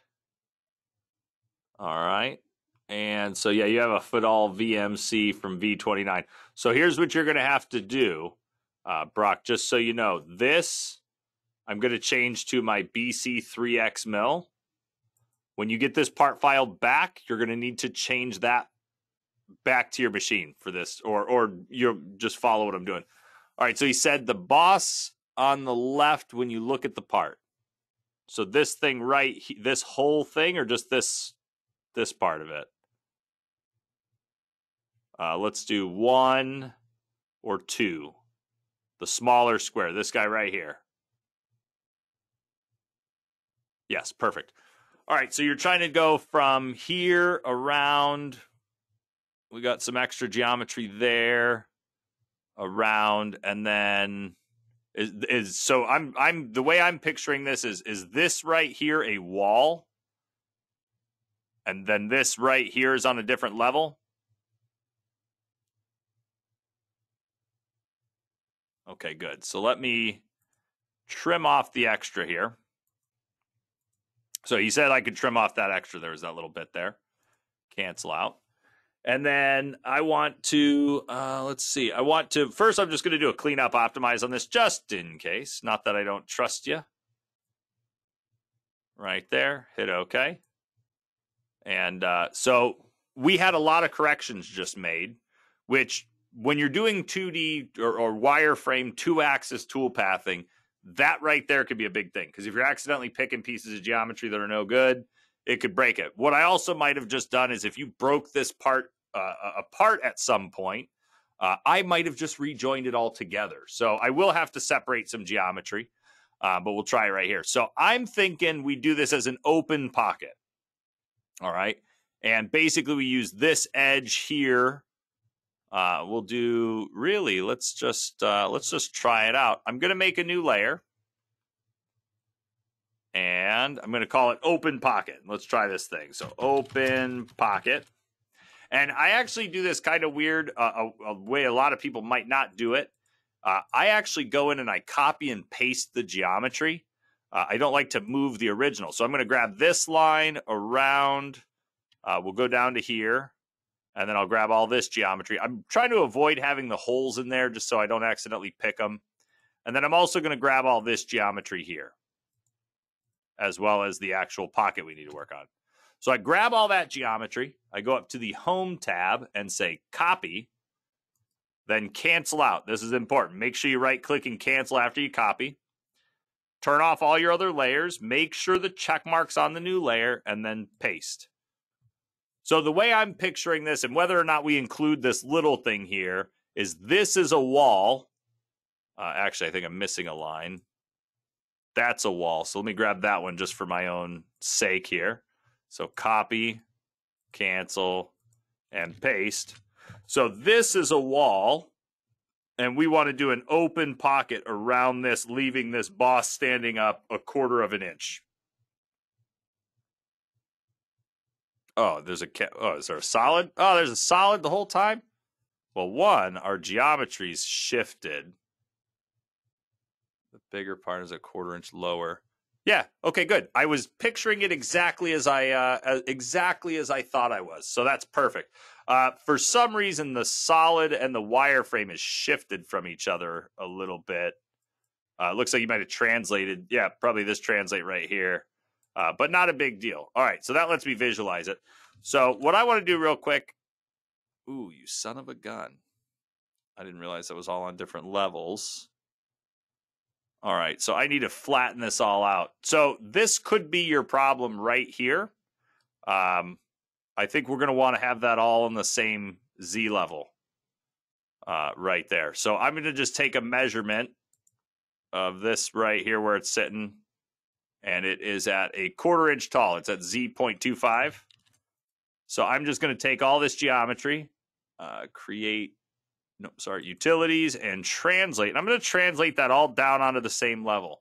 Remember, when you're doing your your depths and stuff, it doesn't really uh, oh, Z minus 0.25. When you're doing your depths and you're working kind of wireframe like this, or especially yours, you have a solid model uh, you can pick the depths. Don't you have all your geometry on one layer? It'll make it a lot easier to work with. So, looking at the CAD model, all of this is going to stay a solid line, and pretty much all of this. So we'll go from here. We're going to try and do this all together, uh, just to see, but we might have to change some things, and then from here around to here here, here, here, here, and here. Yep, just like that. We're going to right click, modify attributes, line style, and then go dotted. Hit OK. Uh, now, I might have to do this one separately just because of that little, just because it's its own thing. But now I'm just going to go ahead and quick trim this. And I'll trim off that and that. And again, this is why I make a copy because if I mess something up, it's no big deal. I'm also going to trim out the inside of that. Just for now. So the next thing I would do is find out what size tool I could fit through here. And uh, the way I actually do that is I just sketch a line. You could go from the center point here straight over. Um, that one's actually fine. I usually overextend a little bit, like so. And then I just trim off the end of it real quick. And then if I measure that line, that'll be pretty close to what I can fit through that area. So that's going to be a, so it's a half inch wide about. So that's perfect. We'll use, uh, what do you prefer? I was to, I was thinking like a half inch or three eighths. Three eighths would be nice, I think. Uh, what do you think? Why didn't this change? Oh, it did change. I got I do have duplicates here, I think. There and there. Let me delete that. Yep, there was definitely duplicates on it. So that's not duplicates anymore. Entity modify or any eh, modify attributes, line style. There we go. So that's dotted. So if I hold shift now, just to just to double check everything, if I hold shift and click, it's going to go there. So the tool is allowed to leave over that edge. Yep, that's where it's going to leave from. And you could possibly, we might possibly need to extend this. We'll find out. Sometimes when you get these these edges, these sharp corners, the tool will leave and wrap around and hit the wall. Um, but we'll try it out without it. So uh, he said, let's go with a half inch to rough, quarter inch to finish. All right, mill. Uh, I can walk through the whole thing. Yeah. So mill two axis, select geometry. Again, hold shift when you pick your geometry to ensure that you're getting good geometry. With you, with the way we had this originally, the geometry being on two different levels would have messed everything up. You couldn't hold shift, and I actually think there was a duplicate here the whole time that I somehow missed. Um, now the top, let's go here. Let's turn on our CAD model. We're going to say that the top of the geometry is uh, I'm just going to pick it off the solid here. Your origin, your origin's there. Okay, so we're going to say the top is here. Don't know why it picked it that way. And the bottom is down on that level there. So quarter inch deep, hit OK. And then go next. Uh, next again. Yeah, quarter, yep, that's fine. So we're going to go with pocketing with a pocket and a profile finish here. Um, and just kind of next our way through. So here we have uh half or that's our quarter inch. We got a half inch in here, half inch flat. There you go. So the problem I could see having here, uh, I'll go with an advanced pocket. Remember, you can't do open pocketing with a with a standard pocket. I'll go with an offset pocket out even. We'll find out if that's right. Uh, step over percentage. Now this is where it could get a little bit weird, and that half inch rougher could be a problem uh, because we only have you know about a half inch, you know, 506. Uh, and so the way you got to kind of think about this is when we get to the next page, when we do our allowance, we got to take that off of the amount that we have. So if we have, let's call this an even half inch, and we set our allowance to 15 thousandths, that's going to be 15 thousandths off that wall and 15 thousandths off that wall. So you take your half inch, you subtract your 30 thousandths, you just add the two of them together, and we're left with 470. That might be a big reason why your half inch tool doesn't fit here. But let's let's change it up a bit. What I'm going to do is I'm going to add another pocket into here. So I got a pocket, that's going to be my half inch. I got another pocket that I'll use as a quarter inch, and then I have my profile finish, which I'll use my quarter inch for. Or you could use a three ace on this second pocket, or just do just do a pocket and a profile finish and switch to a switch to a 3 ace tool. Most of your 3 ace tools take off as much as your half inch tool anyway because the chip load's uh, usually the same. So something to think about, but we'll go with our half inch first.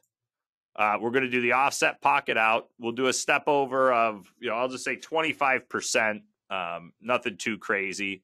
You could also go with adaptive roughing and do some high speed machining on that. Uh, side allowance 15 thou. Uh, we'll do it in one pass, quarter inch leads, I'll just plunge in. With the open pocket, we should be starting off the geometry. Uh, machine sequencing optimized.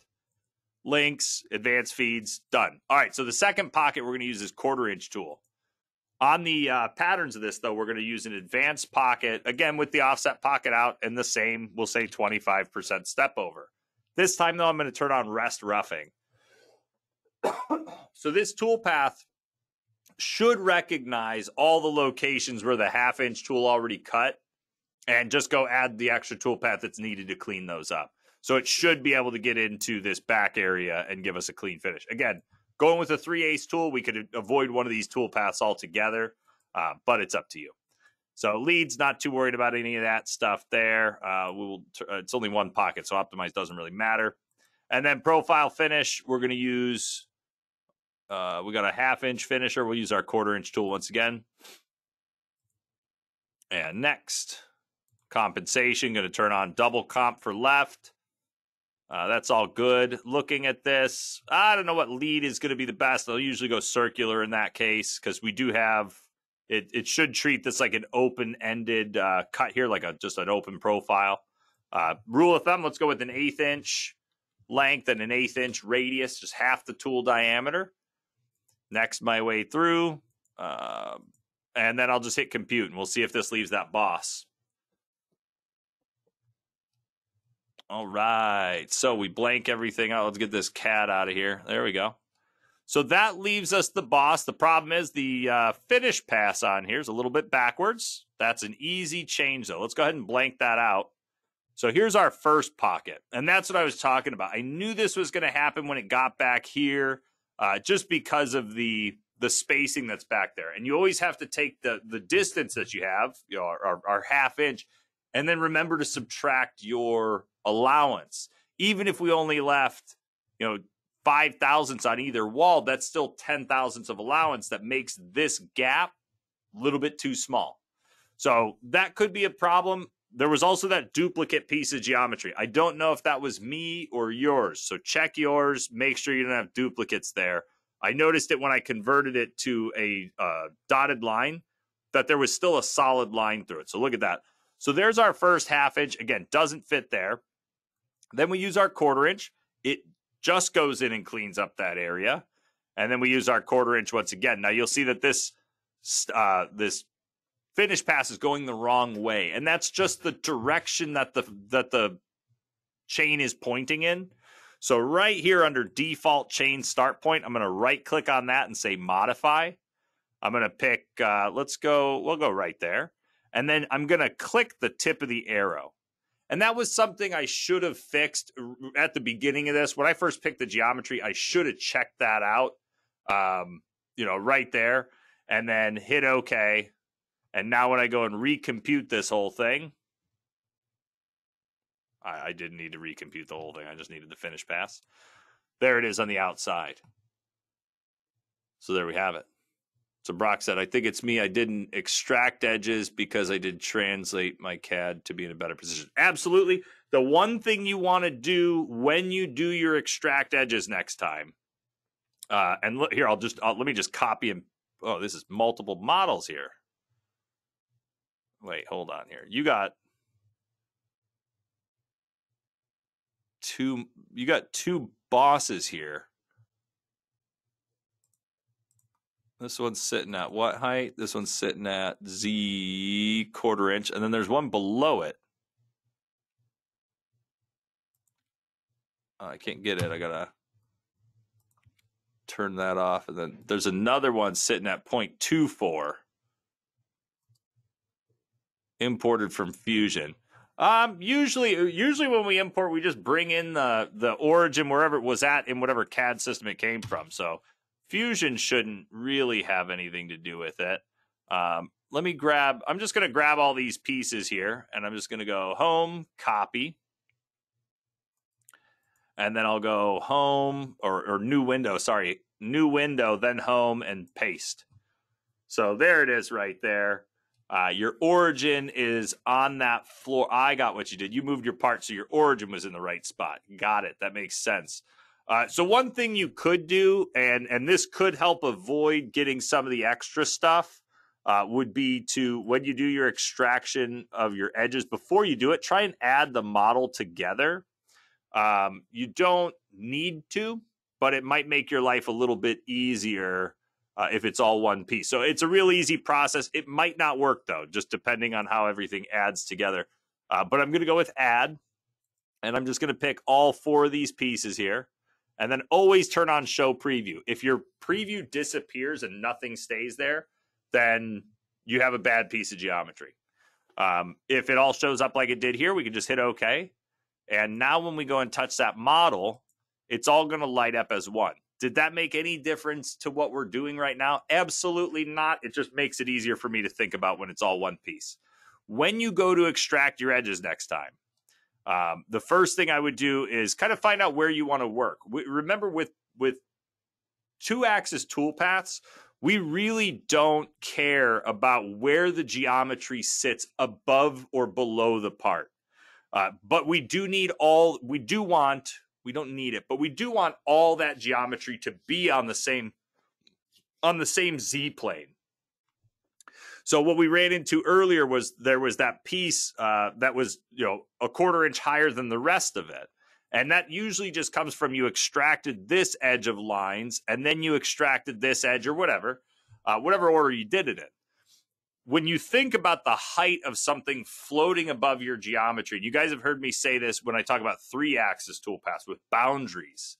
A boundary can sit above a part a hundred inches. It doesn't matter because when we look at it, or when you're when BobCAD's creating the toolpath and when your machine's machining it, we're always looking down on the Z. We're always looking there.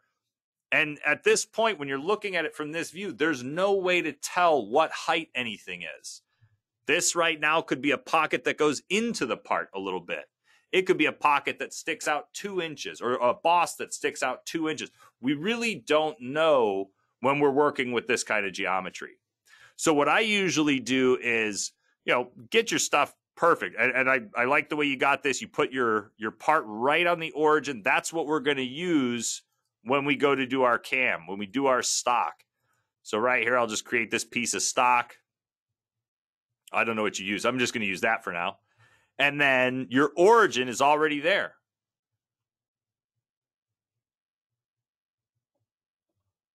And Brock just said, so I really want my origin to be on the bottom left of the part. Like the bottom, this corner right here. Oh, yeah. So when you're going through your stock wizard, all you got to do is uh, click the origin button here and then pick that pick that point. That'll put you in the bottom left hand corner. I was thinking you were all swift putting it right there. You did the right thing. Uh, and a lot of you guys could do this. For those of you that don't like to uh, move the origin around, you'd rather have your parts sitting at the origin. This is exactly what it should look like. That's what you'd want to do. Brock actually wants it in this normal mode. So I'll do, I'm going to do something after this as well uh, to show you guys. So there, ugh, there is our origin now. And so I'll hit OK and just blank out my stock. Now, for the geometry, all right, I'm going to go over here, add a new layer, and I'm going to call this open pocket. All right. And on the open pocket, we're going to go to create 2D and extract edges. But before we pick any geometry, we're going to click this button right here, project to a Z plane. I don't care if you go to Z0. I don't care if you go to one inch. The solid model that we have is going to let us tell the system what the height is, where we're at, and how deep we want to go. So projecting to a Z plane, I'm going to project to Z. I'll, I mean, 0.25 I think is the right answer here, but I'm going to go 0.5. And then I'm just going to go and pick that floor there and that little floor there and hit OK and cancel out.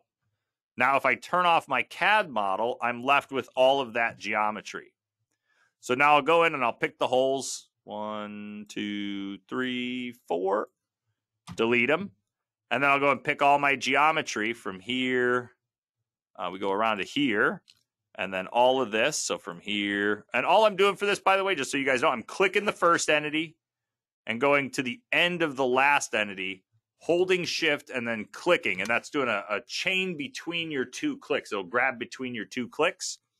Then I'm going to right click, modify attributes, line style, dotted, okay. Make sure you inspect that real quick.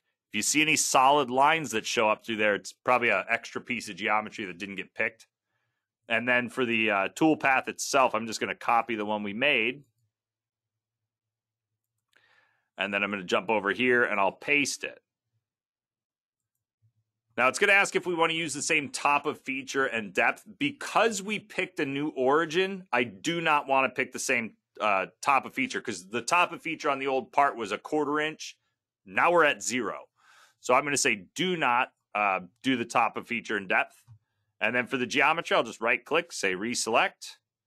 And uh, I always like to hold shift when I pick my geometry because I feel like it's the safest way to go. And you know what? We'll try and do this pocket as well, see if we can do them all together. I think they're at the same depths. Now notice that the geometry we selected is way higher than is shown right here. It knows that the top of part is where we put our origin. And the top of part's currently at zero. So we just have to come in and say pick bottom, pick an edge that represents the depth we want to go to, and then hit OK, and we'll go ahead and recompute and see what this thing gives us.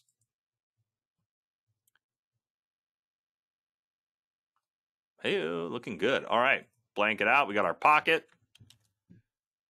Got our secondary pocket there, the uh, the rest rough pocket, and then we have our little profile finish and a toolpath on the inside still. So let me reverse the direction of that. So modify, pick it, flip it, okay it, and recompute it. There we go. That puts us on the right side. So there we go. That's our little little pocket right there. um, yeah, that's it. Now I do want to show you guys one last thing. Let me save this thing for you real quick, Brock. Uh, where is it? That, that that, that. I'll put that on there so you know this one's mine. I'll email that to you here in a little bit. All right, now the last bit, which is the origin. So a lot of guys get confused with this, uh, and I think we're having some confusion here on Brock's end. It does not matter where this part sits inside of BobCAD. So I'm going to go to utilities and translate. And as long as this is the, you know, as long as all of the geometry is in the same spot, I'll keep it somewhat in in bounds over here. Uh, I'm going to hit OK and cancel out. So the way you could first find out one is all the geometry in the same spot. Uh, well, there's a real easy way to find out, and it's just by doing a fit all.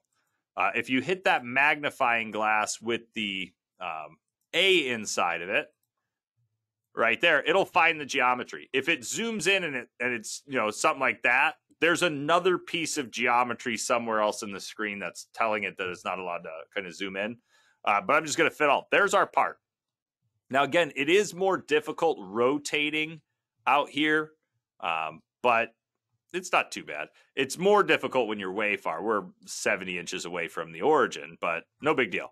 So again, when I go to my cam tree, and I start my new job and I, I go to my stock wizard and I do all this stuff, it finds that part for me, no matter where it's sitting in the window. It doesn't matter that it's not right here at, you know, at XYZ0. It finds it in the window. And then when I hit next, right here, we say forward, those points show up. If you always want to use this left hand corner, you're going to click on origin. You're going to pick it right there, hit OK.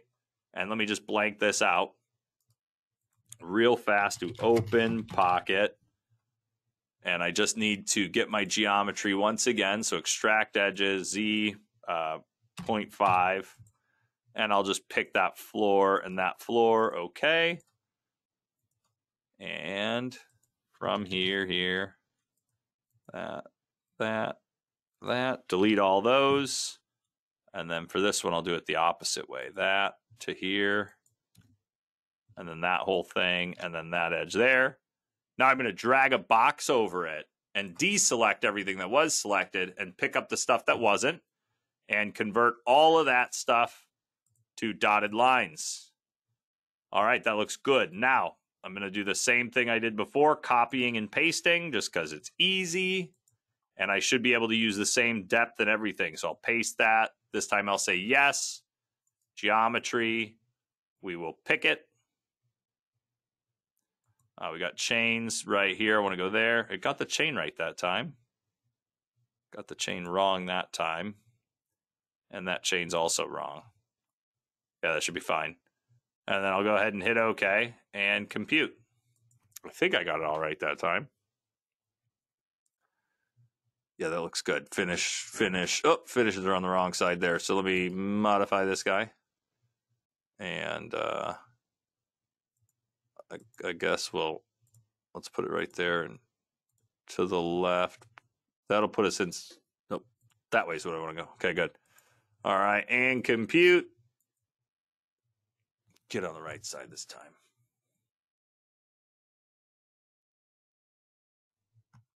I was lying. Only one of them was good.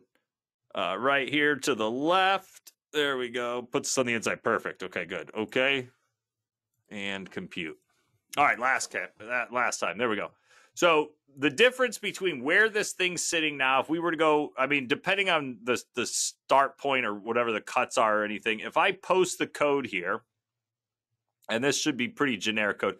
Uh, let's look at line number four here. This G90 and then the XY. And let me go over here and let me post the code here. Uh, I think it's pretty close. 2999. I think they're starting in the same spot. Yeah. So notice that the code between these two, this just you, we're just looking at line number four here. Uh, X minus 0.2999. Uh, and that's on the, the one that's around the origin there. Look over there, we got X minus 2.9999 and then 3.7902, 3.7902. The code is exactly the same, regardless of where we put this inside the CAD workspace. It's all based off of where we put that origin. So on your original one, where we have that origin right there, when we go to post the code, it's going to be the distance from that origin there to the first cut. And that's why we have different values right there. It's going to, I don't know where the exact first cut is. It's, uh, well, actually, we could look real quick. So the first cut, back plot, there it is, is starting right here. So that's the location in which it's starting. And I'm pretty sure, let's look at the other one real quick. Uh, we'll do this one because I got the toolpath on. This one, backplot, is also starting in that exact same location, but you'll see the differences in there in their code over there. So that'll be the uh, that'll be the big thing. Just making sure you pick the right origin. Uh, again, when you're going through your stock, it's going to be the last page of the stock wizard. A lot of people hit OK one step too early when they're doing their stock wizard. Uh, let me do this. You know, a lot of people will get to this point where they've just defined this, and then they have their part in the you know they have their part kind of in a spot like you did your your origin was at you know xyz0 your part was situated there so when you hit ok here you miss out on the last page of the stock wizard and the last page is the one where you're going to pick your origin it's one of the most important ones so you go to your origin and then yeah just always pick that bottom left hand corner if you're running a mill, you're usually going off the top of the part. For any of you guys that might be running a, a router, uh, you're either going to go off the top of the part or the spoil board. Uh, it really depends on how the how the router's set up. Um, some of them don't really let you pick the Z level. It's all based off that spoil board. So something to, something to think about. Um, but yeah, that's it. All right, let me get rid of that extra one. Delete that. Yes. All right, let me save this. And uh, yeah, I'll send it back to you.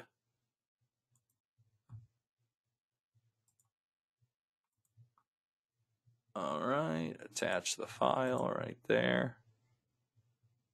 All right, Brock, I'm sending it back to you now. Just make sure that when you get it, you have to right click on this where it says BC3X mill and then go pick that, uh, do you have, Fadal or Fagor pick your machine, and then when you go to simulate it, it should show up with all the right stuff and the right. It'll have the right code to it. So there you go. All right, that's uh, I'm I'm pretty much I'm out of time. I mean, almost out of time. I got time for some questions if you guys got them. Um, so if you guys have some questions, let me know. And uh, let me know what you think. If you guys like this method a little bit more, we did a we changed this from last year. We went from we used to do four hours for this, we dropped it down to two, and we're doing it in the afternoon. So and we went to Wednesdays. We used to do Tuesdays and Thursdays. So it's just going to be Wednesdays from now on. Um, yep, from one to three, and we're still going to go over the same kind of stuff. uh, one of the one of the complaints we got from you guys when I send out my my um, little survey was that it it's a little too long sometimes. So uh, yeah, we dropped it down to two hours for this year. We're gonna see how it goes. This is the first one, and I I wish it was more prepped on my end. I I was off work last week, so I didn't prep all of this beforehand. so um, yeah, if you guys got any questions, feel free to throw them in the questions box. And if you guys have any part files like Brock did, feel free to send those in. And uh, we'll look at them and, and see where we could squeeze them in. As long as you're okay with other people seeing your part files um, it's one thing you could do. So yeah send us part files. If you guys want us to go through some of your stuff that'll help you it's kind of uh, we we run out of things to talk about pretty quickly when we're making up our own parts so as you can see from how simple i went today so so all right guys I'll, like I said, I'll be here for a few minutes. If you guys have any questions, I'll pop back in.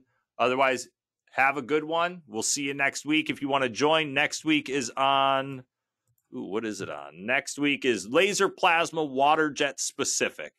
So, yeah, if you guys have any questions or anything that comes up, let us know. Otherwise, uh, yeah, we'll see you next week or in two weeks, uh, which is the 19th um, we have our 3D CAD and CAM, um, which I might have to actually cancel because none of the trainers are going to be here. So I'll figure it out and let you guys know. Thanks, Brock. Have a good one.